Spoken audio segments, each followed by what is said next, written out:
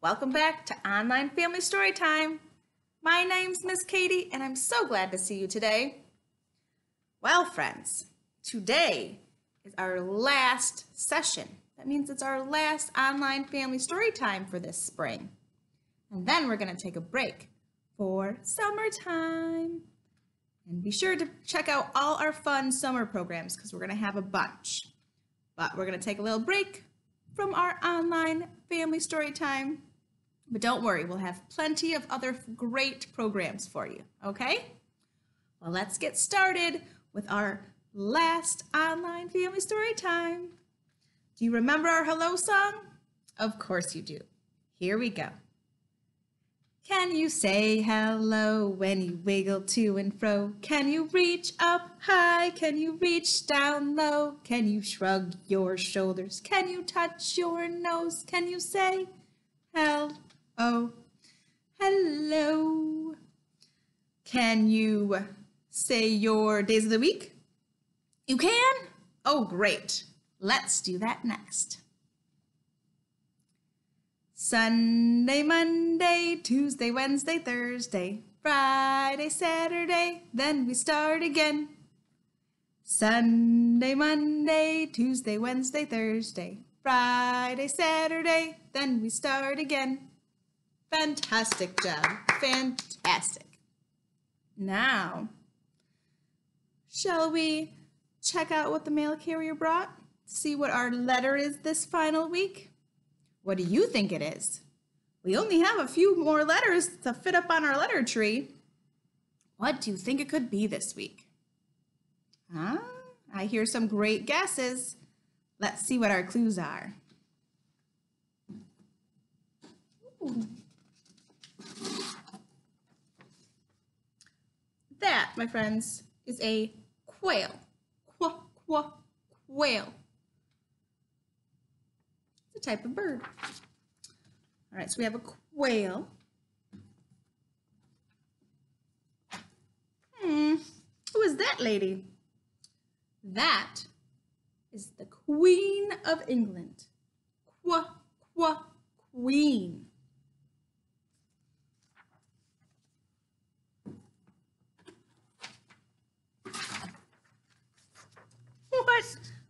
What? Is that symbol? What is that? Yeah, it's a question mark. Question mark. What's a question mark? A question mark is how you end a question. So if you're asking a question and you were writing it down, you would put a question mark at the end of your sentence to let people know it's a question. So instead of you saying, it's a nice day today, you said, it's, it's a nice day today, isn't it? That's a question. How are you today? Question. What is this? Question. All of those would end in a question mark. Sometimes you see these over cartoons, like when they're puzzled, they don't know what's going on. Yes? Have you ever seen a cartoon do that? Maybe, sometimes. Maybe that was just back in my day. I don't know. All right, so we have a question mark, a queen, and a quail. What letter makes a qua, qua sound? hmm Yes, yes, yes, I think you know.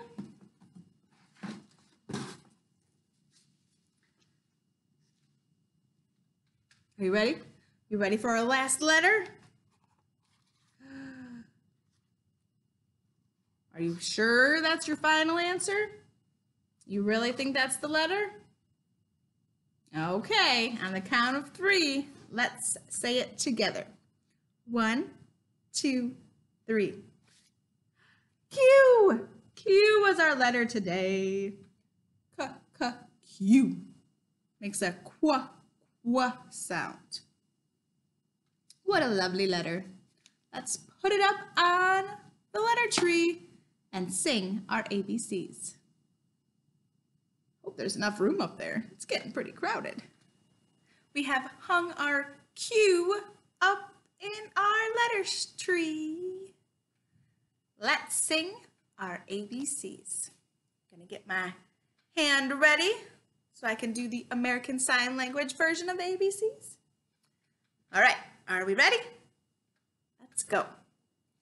A, B, C, D, E, F, G, H, I, J, K, L, M, N, O, P, Q, R, S, T, U, V, W, X, Y, and Z. Now I know my ABCs. Next time, won't you sing with me? Bravo, bellissimo. Wonderful job, my friends. Well, I think it's time for a story. Are you ready for a story? Me too. Gonna get ready to sing our story song though. Are you ready? Here we go. If you're ready for a story, then clap your hands, clap your hands, clap your hands. If you're ready for a story, then clap your hands, clap your hands. If you're ready for a story, then stomp your feet, stomp your feet, stomp your feet. If you're ready for a story, then stomp your feet, stomp your feet. If you're ready for a story, then nod your head, nod your head, nod your head. If you're ready for a story, then nod your head, nod your head. If you're ready for a story, then sit so still, sit so still, sit so still. If you're ready for a story, then sit so still, sit so still. Shh. Fantastic. You're sitting so quietly. Quiet starts with a Q also. And that is what our story is about. Our story is called Be Quiet, Mike. It's by Leslie Patricelli. Now, Mike likes to be loud, and not everyone enjoys his loudness. So we're going to figure out how he can channel his love of loudness in a productive and constructive way. Be quiet, Mike. This is a story about a monkey named Mike who started drumming as a tiny little tyke. Kick thump pow, kick thump pow. He played with his fingers, he played with his feet, a funky little monkey with a beat, beat, beat. Thunk, thunk, rattle, rattle, mm, choo, mm, choo, pat, pat. Bing bong, bing, his rhythm would sing. But poor Monkey Mike heard only one thing. He heard it from his parents, he heard it from his sis, he heard it from the neighbors, and it sounded like this. Be quiet, Mike.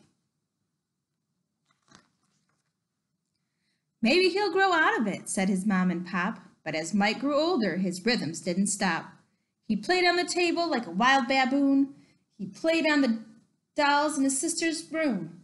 But everywhere he played, he heard the same tune. Be quiet, Mike. He tried to be quiet, he tried to be still, but the beat of his heart was stronger than his will. Ba-boom, ba-boom, ba-boom, ba-boom. Mike was good at school. He wasn't one for yapping, but with pencils everywhere, he couldn't stop tapping.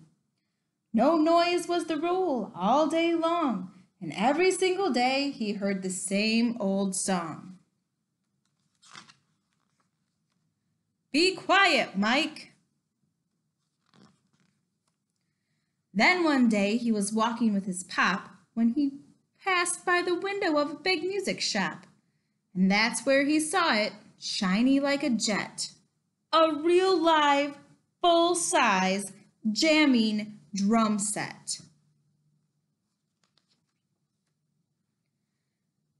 And there at the drum set, an ape with long fur, beating so fast, arms and legs a blur.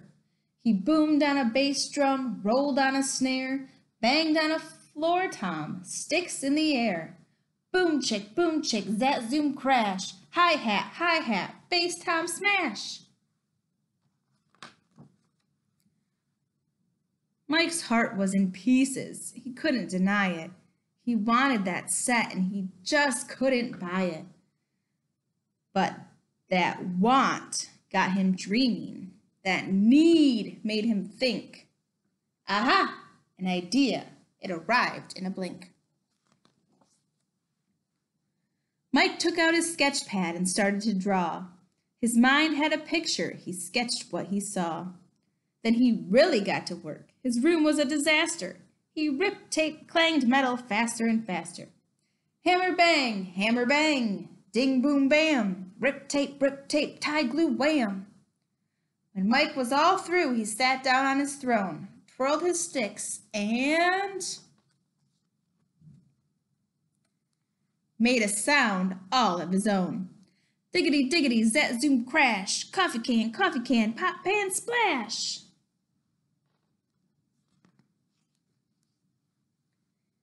He rolled on his bucket, rang on his chimes, pulled out his bananas, and played in double time. Mike played so hard he fell off his seat, but even on the floor he never missed a beat. First chimes, then a fill, a boom, then he stopped and looked up in surprise. It was his mom, sis, and pop. His mom started clapping, then his dad, then his sis. They hooted and they cheered and they blew him a kiss. And do you know what they said? Well, it sounded like this. Play louder, Mike. The end. Wow, can you believe it? He made his own drum set. That's amazing.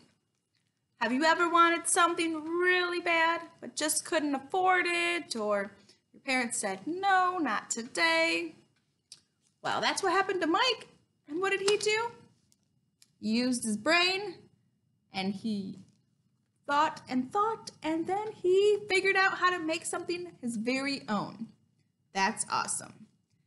And he just had to get his music out, right? He had music in him, and he was always playing drums everywhere. And that annoyed some people. So he took it upon himself to make his own drum set where he could make awesome music and people appreciated his fine talents. So this tells you, don't give up on your dreams. Always keep trying and you can succeed as well, okay? Well, thank you, Mike, for that wonderful lesson of ingenuity and persistence and being yourself. Next, we are going to make our craft. Our craft today is going to be a crown. Now I know crown doesn't start with Q, it starts with C, but queens wear crowns. and I thought um, it's fun to make crowns and it's fun to wear crowns. So we are going to make a crown. Okay, let's get started on our crown. Now crowns can look however you would like them to look. I happen to have some of these sticky things laying around. I have some sequins and I have some glitter. First things first, you want to measure your head. you want to use a piece of string and wrap it around and see how big your head is. And then you need to make sure that you have a piece of paper will fit around your head. Now you can do that in a couple different ways. You can do it like I'm going to do, which is just take a regular piece of paper and do the front of the crown. And then I'm going to cut strips and attach them to the sides to make it go all the way around my head and then tape it in the back. If you want the full effect of the crown, you may have to make numerous pieces of paper um, and put tape them together to make it all the way around your head. I would have to use three. You would probably only have to use two, but you would tape them together to make your crown. So, do you boo? This is how I'm going to do it. So first I'm going to make the pattern of my crown. Now I've always seen crowns to be like pointy, right? Like you see the up, down, up, down. So classic crown, that's what I'm going to do.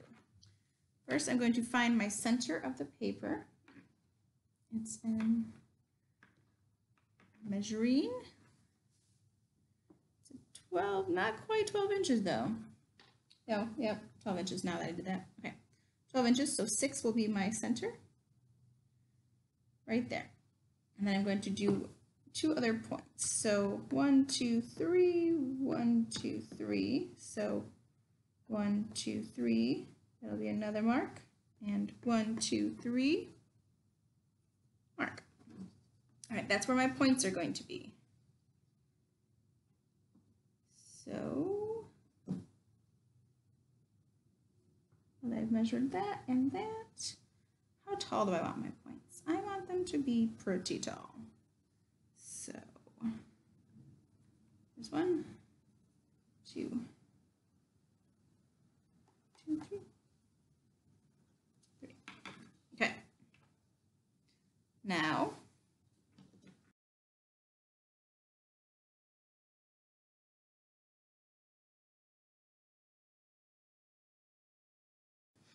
All right, here are my points. Don't worry about the pencil marks. We're gonna that's gonna be the inside, so we are gonna flip it over. It's gonna be fine. So now we're gonna cut out our points and get on with our decorating. Okay, my crown is cut out and I put a glitter catch underneath here because I'll be using some glitter. First, I'm going to add my design. So I like a nice there's some peels, but you can also just, oh, these are pretty old. I don't know if they're actually going to stick. Glue stick. I'm going to put this down as my jewel.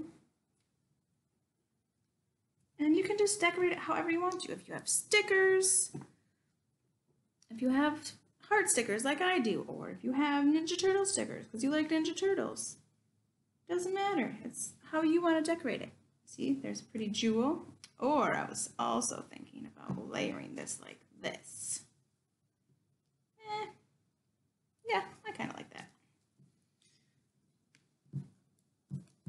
So we're going to do that. Like I said, decorate them however you want to decorate them. There we go.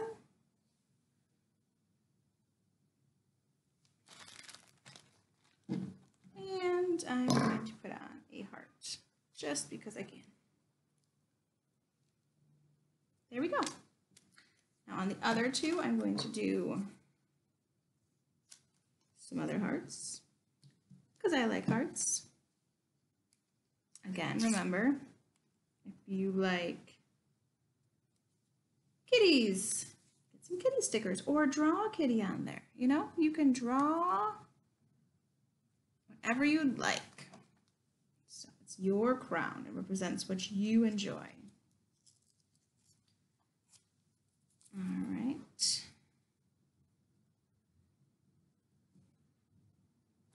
Doubling up my hearts here.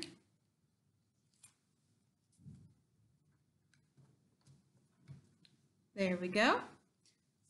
I also recommend coloring if you like coloring. I am going to do a little see if my glitter sticks on the glitter stick, on the glue stick glue. Sometimes it's not enough glue. We're about to find out though, aren't we?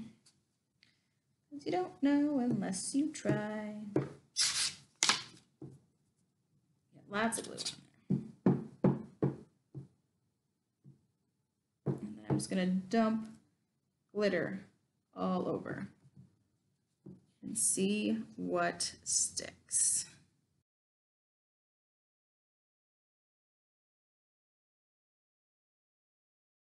Pretty shiny. You can see where we missed spots, eh? no problem. That can be a stylistic choice, or you can just add some more glue.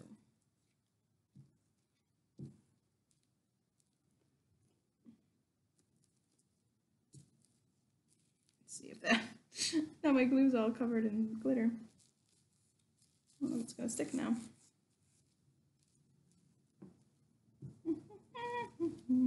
All right. Try again.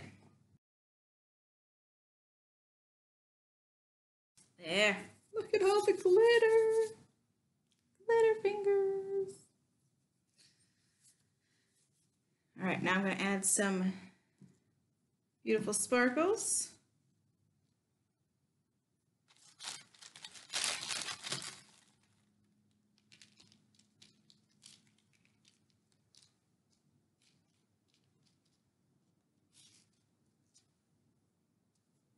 Now we're getting fancy.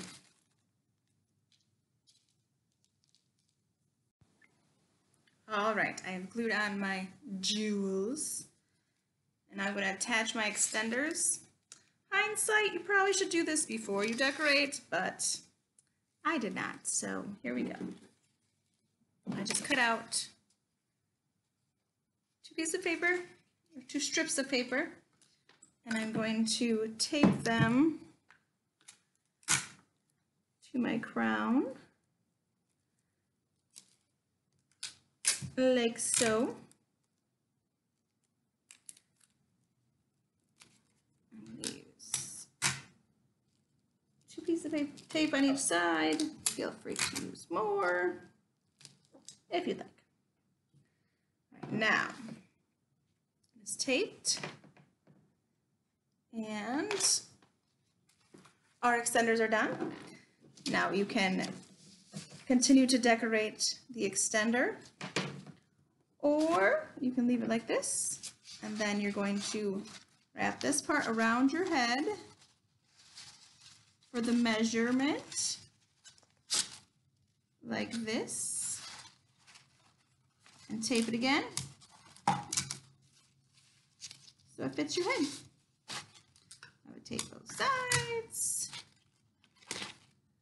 and voila a beautiful crown for any royal would be happy to have.